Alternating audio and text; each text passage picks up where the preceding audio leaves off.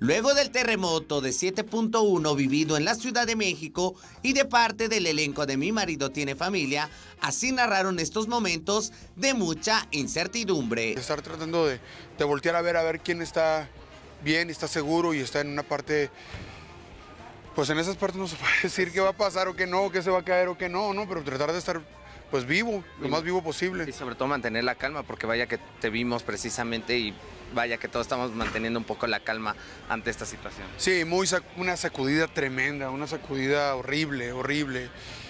Este, yo nunca he vivido algo así, le tengo mucho miedo a los temblores de donde yo. Pero nada, estoy eh, de verdad pálido, estoy nervioso, no estoy tranquilo. Creo que hay que... ¿Ya pudiste hablar con los No, bueno, en Hermosillo sí todo está bien. En Hermosillo ya me hablaron todo el mundo, pero mi hijo está aquí y no, no puedo hacer contacto con él. Entonces, creo que tenemos que ser conscientes y cada vez que se pueda, mejores seres humanos. Y hoy necesita ayuda Chiapas, Oaxaca, parte de Chilpancingo, no sé bien dónde fue el epicentro ahorita, eh, sé que pasaron algunas cosas, esperemos que todo el mundo esté bien, pero si hoy necesitamos la ayuda, yo sé que Oaxaca, aún como está, o Chiapas, ayudarían también. Entonces hagámoslo, porque nosotros sabemos unirnos. Eso es lo más importante. Jessica, ¿has, has podido hablar precisamente con tu familia, con tu pareja, con, con todo el mundo para saber cómo está? Sí, ya, ya hablé con todos, gracias a Dios. Momentos de angustia, ¿qué era lo que le pasaba por la mente? Porque vaya, todos nos pusimos pues nerviosos y preocupados. Eso es, es lo primero que se me ocurrió. A ver, tenemos que salir aquí ordenadamente, tenemos que irnos a los lugares más seguros, porque los postes de luz estaban haciendo así, entonces tienes que pararte donde no hay un poste que se te pueda caer, un cable de luz que te pueda electrocutar, una pared que se te caiga encima.